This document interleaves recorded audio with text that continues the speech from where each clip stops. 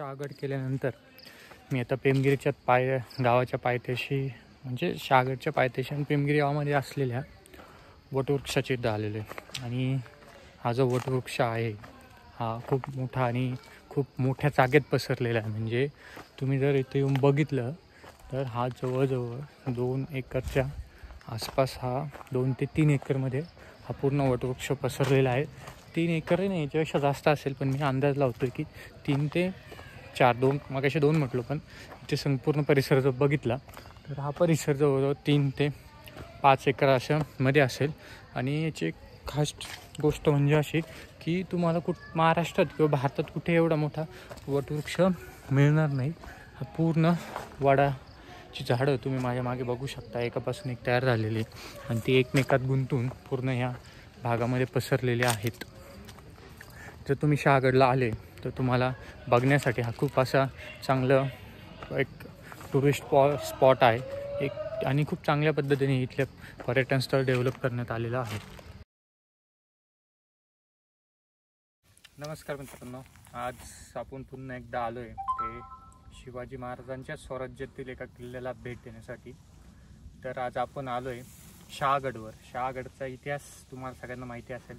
शहागड म्हणजे शिवाजी महाराजांचा बालपणीचा जो इतिहास आहे त्याच्याबद्दल नेहमी तुम्हाला शहागडची उदाहरणं मिळत असतील. आणि शहागड अनेक ऐतिहासिक गोष्टींचा किंवा जे इतिहासात ज्या गोष्टींचा संदर्भ आहे त्यांचा साक्षीदार आहे. त्यापैकीच एक की जेव्हा निजामशाहीचा अस्त झाला होता त्याच्यानंतर शहाजीराजांनी ती पुन्हा निजामशाही उभी केली. आणि त्याच्या त्यांचा नवीन निजाम दिला. तर तो इथूनच दिला होता. शहागड म्हणजे शिवाजी महाराजांचं पूर्ण बालपण आपण म्हणू शकतो की बराचसा काळ त्यांनी याच किल्ल्यावर घातलेला. इथूनच राजमाता जिजाऊंनी त्यांना स्वराज्याचे पूर्ण धडे दिले होते. आणि नंतर आपल्याला माहिती की स्वराज्य उभं राहिलं. पण याच्यात मोलाचा वाटा हा शहाजीराजेंचा होता. या किल्ल्याला पहिला पेमगिरीचाच किल्ला म्हणायचे. पण जसे जसे शहाजीराजे स्वराज्याच्या बाबतीत प्रदेश जिंकत गेले. आणि त्यानंतर हा जो प्रदेश त्यांनी स्वराज्यासाठी जिंकला म्हणून त्यांच्या साथीदारांनी या किल्ल्यांचं नामकरण किल्ले ह्या किल्ल्याचं नामकरण पेमगिरीवरून शहागड केलं. आणि जी सुरुवात झाली होती खरी पहिले स्वराज्याची ती आपण म्हणू शकतो की ती ह्याच किल्ल्यापासून झाली होती. आणि जरी शि छत्रपती शिवाजी महाराजांनी तोरणा हा किल्ला स्वराज्याचा पहिला किल्ला जिंकून घेतला असेल पण त्या अगोदर पण जी स्वराज्याची खरी सुरुवात झाली आहे स्वराज्याच्या किल्ल्यांची त्याच्यामध्ये शहागड हा पहिला किल्ला आहे. हे मात्र आपल्याला नक्कीच म्हणावं लागेल. ही गडावरची पाण्याची तळी.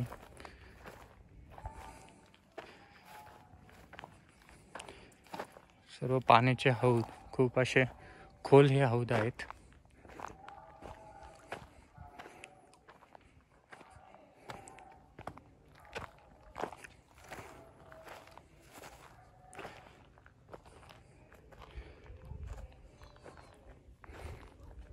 शहागड किल्ल्यावर येण्यासाठी तुम्हाला फार असं चढायची गरज नाही. म्हणजे तुम्ही चढाई करून पण येऊ शकता पण किल्ल्यावर जसं सिंहगडला तुम्ही डिरेक्टली तुमच्या कारने जाऊ शकता तसेच इथे शहागडला तुम्ही डिरेक्टली तुमची कार घेऊन वरती येऊ शकतात किंवा तुमच्याकडे अन्य कुठली गाडी असेल टू व्हीलर फोर व्हीलर तिने तुम्ही या गडावर येऊ शकतात.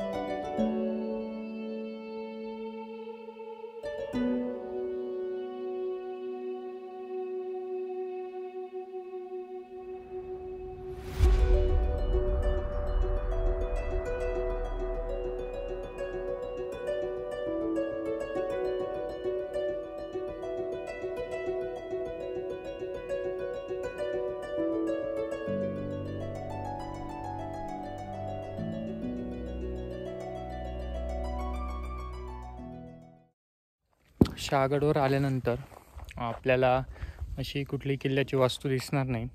जे काय आहेत ते फक्त आता इथे हौद शिल्लक आहेत.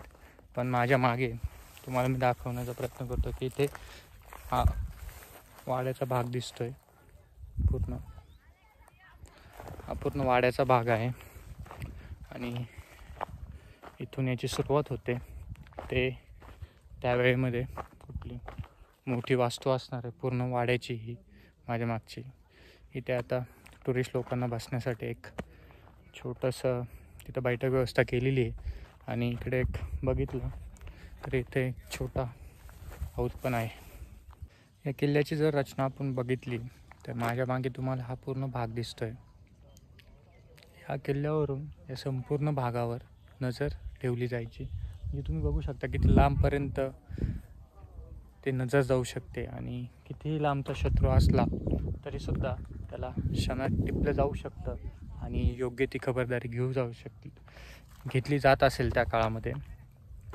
त्यामुळे तसं बघितलं तर या किल्ल्याला खूप असं महत्त्व आहे. पण त्याचा इतिहासात फार कमी वेळा उल्लेख आलेला आहे. खरं तर शिवाजी महाराजांचं अख्खं बालपण अख्खं म्हणण्यापेक्षा एक चार ते पाच वर्षांचं त्यांचं बालपण या ठिकाणी गेलेलं आहे. पण तरीही फार कमी अशा इतिहासातील नोंदी या किल्ल्याबद्दल आपल्याला आढळून येतात. आजचा आपला पूर्ण जो किल्ला आहे तो बघून झालेला आहे. किल्ला म्हणण्यापेक्षा इथे आता फार मी जसं तुम्हाला बोललो की फार काय असं स्ट्रक्चर राहिलेलं नाही आहे पण निसर्गरम्य वातावरण आहे. आणि एक गोष्ट इथं आल्यानंतर खूप म्हणजे असा आनंद वाटला की जिथे शिवाजी महाराजांनी बालपण घातलं तिथे यायला भेटलं. आणि त्या जागेमध्ये थोडा वेळ घालवायला मिळाला. तुम्ही तुम्ही येऊ शकता तुमच्या फॅमिलीसोबत येऊ शकता. माझ्या मागे ए पेमा देवीचं मंदिर आहे. आणि पूर्ण तिलगडावरील हा परिसर आहे. अशा पद्धतीने आज आपण दोन पर्यटन स्थळांना भेट दिलेली आहे.